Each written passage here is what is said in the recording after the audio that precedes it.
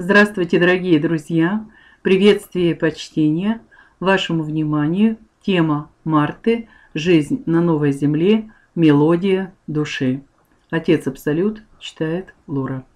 Здравствуйте, дорогие мои любимые дети! Итак, давайте продолжим разговор об энергетической составляющей человека пятого измерения.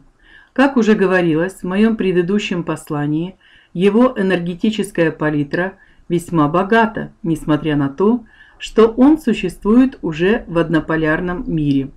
Каким же образом достигается такое разнообразие в эсковибрационном пространстве пятого измерения? Для лучшего понимания давайте сравним человека с музыкальным инструментом. Вы можете представлять себе любой, тот, который вам больше всего нравится. Фортепиано, скрипка, гитара, саксофон, все что угодно, даже барабан. Почему именно с музыкальным инструментом? Потому что из него можно извлечь семь нот. Так же, как человек оперирует семью чакрами. Каждая нота, как и чакра, имеет свою особенность и звучит по-разному в зависимости от того, кто играет на этом инструменте и в каком расположении духа он находится. Из сочетания различных нот возникает музыка, а из различного звучания чакр человека его эмоциональное состояние. Но в однополярном мире, где отсутствуют энергии низких вибраций, чакровая система человека переходит уже на другой уровень существования. Его нижние чакры, вибрационно подтягиваясь к верхним, начинают звучать уже по-другому.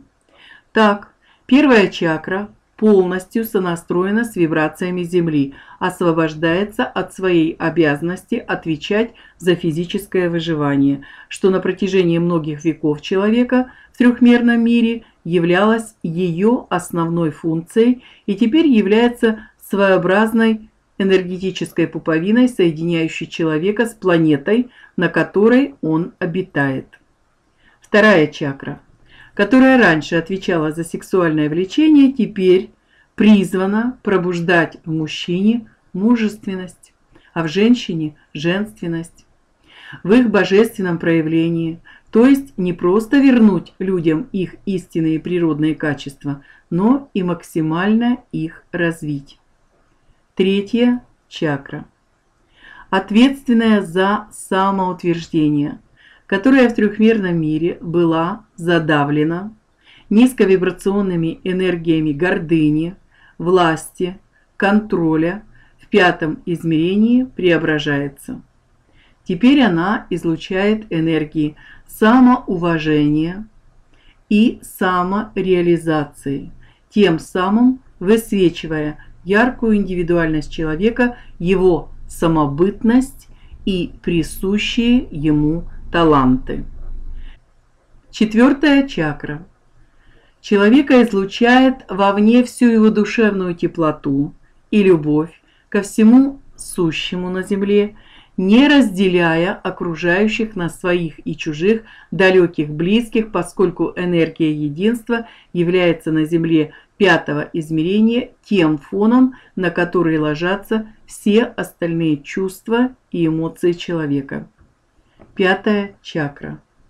Нового человека буквально расцветает и становится главным инструментом его творчества и самовыражения, сонастраиваясь с первыми четырьмя чакрами, которые помогают ей раскрыться еще полнее и ярче. Шестая чакра отвечает за телепатические способности человека, которые в реалиях пятого измерения становятся главным способом общения между людьми. И наконец, седьмая чакра и шишковидная железа создают мостик, который соединяет вас с мирами более высоких измерений и со Вселенским банком данных. А теперь представьте себе, что все семь обновленных чакр человека, взаимодействуя друг с другом, создают различные вибрационные мелодии, которые подобно музыкальным произведениям звучат в разных тональностях, в зависимости от душевного настроя человека. Порой мирного, порой мажорного, но они всегда прекрасны, поскольку несут в себе высокие вибрации любви. Но так как энергия не статична, эти мелодии постоянно меняют свою окраску, энергетически переливаясь всеми цветами и оттенками.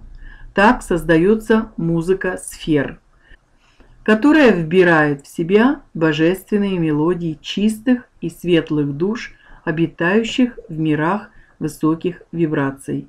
Именно поэтому я и сравнил человека пятого измерения с прекрасным музыкальным инструментом, способным извлекать из своей души чудесные божественные мелодии. На этом мы остановимся сегодня. Любящий вас безмерно Отец Абсолют говорил с вами, приняла Марта, вы прослушали тему «Мелодия души».